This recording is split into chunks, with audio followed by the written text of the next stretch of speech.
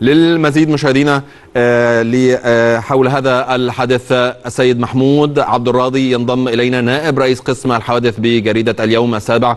سيادة محمود سيد محمود بعد التحية يعني كنا نتحدث عن الاستهدافات الإرهابية للتمركزات الأمنية في يوم أو يعني في هذه الفترة تحديدا بعد الجهود الأمنية في مكافحة الإرهاب تحديدا في سيناء.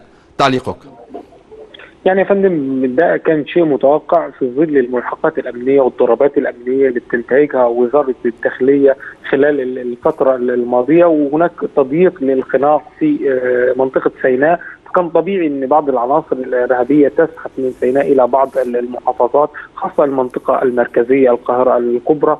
واستهداف العديد من رجال الشرطة ويمكن ده مرتبط بشيء آخر كمان بعيدا عن تضييق الخناق في سيناء الحكم الذي صدر من محكمة الجنايات بحق عدد من المتهمين في مذبحه كرداسة الشهيرة. وكان طبيعي أن يكون هناك رد فعل من هذه العناصر المتطرفة والجماعات الإرهابية إنها تستهدف رجال الشرطة. انها دايما بي بي يعني معتقده ان ان ان, أن يعني إن ثارها مع رجال الشرطة الذين دائما يضبطون الخلايا الإرهابية ويقدمونها للقضاء. وهم يصدر بحقهم احكام متفاوتة ما بين الإعدام والسجن المؤبد. نعم.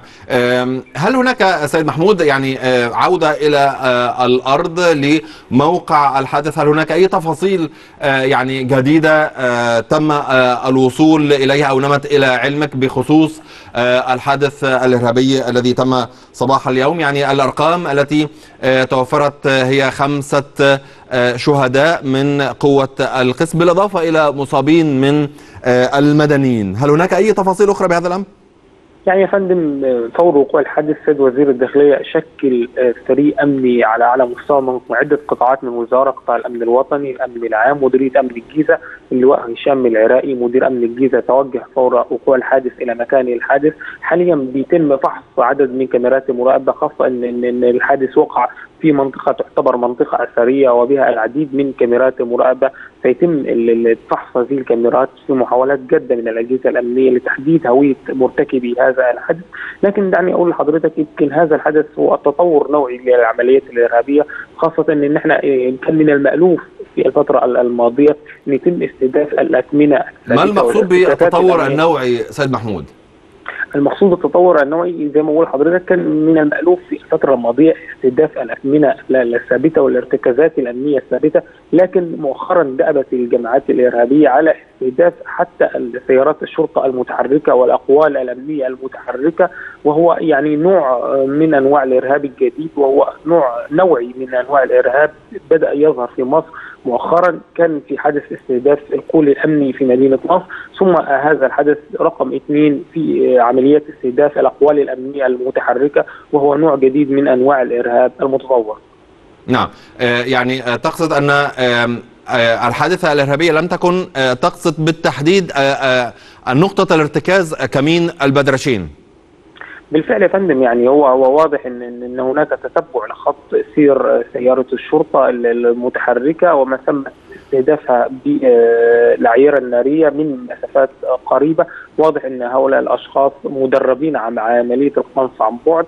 وزي ما حضرتك شفت وأنا شفت وشهدنا كلنا اعترافات بالفيديو للعناصر الإرهابية اللي تم القبض عليهم مؤخرا. معظمهم اعترفوا أنهم يتلقوا تدريبات عسكرية وتكتيكية في معسكرات الارهاب في الصحراء عن عملية القنص عن بعد واستهداف رجال الشرطة في المقام الأول. وبدأت العناصر الإرهابية تطبق ذلك على أرض الواقع. شفنا حادث كمين حادث القول الأمني بمدينة نصر استهداف عربية متحركة ثم نحن اليوم أمام حادث رقم اثنين استهداف عربية متحركة في مدينة البدرشين. أه سيد محمود يعني بصفتك أه نائب لرئيس قسم الحوادث بجريدة اليوم السابع حدثنا أكثر عن الإحصائيات وعدد الأحداث أو الحوادث الإرهابية هل هي في تزايد أم في تضاؤل مؤخرا؟ يعني فندم كانت الحوادث الإرهابية بدأت تختفي من المشهد مؤخرا وده يرجع لسبب الضربات الاستباقية اللي بدأت تنتهكها الاجهزه الأمنية، بدأت الأجهزة الأمنية تعتمد على على معلومات دقيقة من قبل الأجهزة المعلوماتية وتحديدا جهاز الأمن الوطني بوجود أوقار للعناصر الإرهابية سواء في شقق مفروشة أو في معسكرات للعناصر الإرهابية، شفنا أكثر من معسكر معسكر الارهابيين في صحراء أسيوط، شفنا معسكر آخر للإرهابيين في مدينة الإسماعيلية وتم استهداف هذه العناصر الإرهابية ووعد العمليات الإرهابية التي كانوا يحتزمون القيام بها، لكن بعد ما اختفت العمليات الإرهابية لعدة أشهر بدأت تظهر على السطح من جديد وتعود للمشهد مؤخرا. وذلك زي ما قلت لحضرتك في بداية المداخلة مرتبط بظهور أحكام قضائية ضد بعض العناصر الإرهابية، شفنا حكم كبير حكم قضائي تاريخي في القضية المعروفة بمذبحة كرداسة، أكثر من 20 شخص حكم عليهم بالإعدام، عدد كبير صدرت لهم احكام بالمؤبد، كم من المتوقع أن يكون هناك رد فعل من هذه الجماعات الإرهابية ضد رجال الشرطة اللي بتعتبرهم الجماعات الإرهابية؟ هي خصمهم الأول. نعم.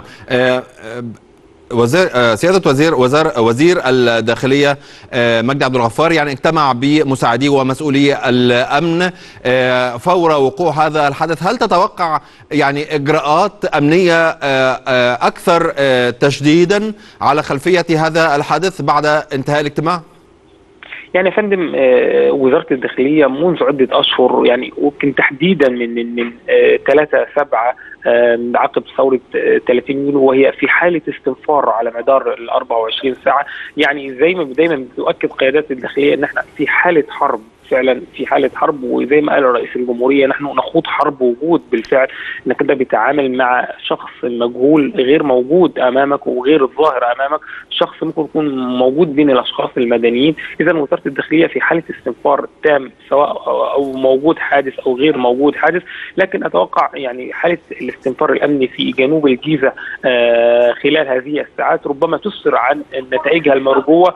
ويعني يتم تحديد هوية القائمين على هذا العمل الارهابي الجبان والقبض عليهم خلال الساعات القليلة المقبلة كما اعتدنا من وزارة الداخلية التي قدمت العديد من المتهمين ومرتكبي الحوادث بعد ساعات قليلة من وقوع هذه الحوادث.